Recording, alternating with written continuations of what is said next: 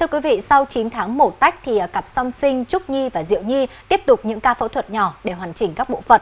Theo đó thì Diệu Nhi thực hiện ca mổ đóng hậu môn tạm, hoàn chỉnh đường tiêu hóa và đến ngày 19 tháng 4 thì Diệu Nhi cũng đã được xuất viện để trở về nhà đoàn tụ với gia đình.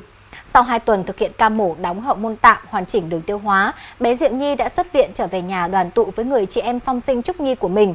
Có thể thấy sau những ca phẫu thuật nhỏ để hoàn chỉnh các bộ phận, sức khỏe của các bé đã tốt lên rất nhiều. Hình ảnh hai em Trúc Nhi, Diệu Nhi ngồi cạnh nhau, liên tục cười đùa, thậm chí là quay sang nhau trò chuyện, đùa nghịch rất vui vẻ. Ngay sau khi những hình ảnh đáng yêu của hai bé song sinh được chia sẻ lên mạng xã hội đã khiến cho nhiều người thích thú. Những người quan tâm luôn dõi theo sự trưởng thành của hai bé cũng cảm thấy vui mừng. Hoàng Trúc Nhi và Hoàng Diệu Nhi được chẩn đoán là dính liền bụng, chậu ở tuần thứ 16 của thai kỳ.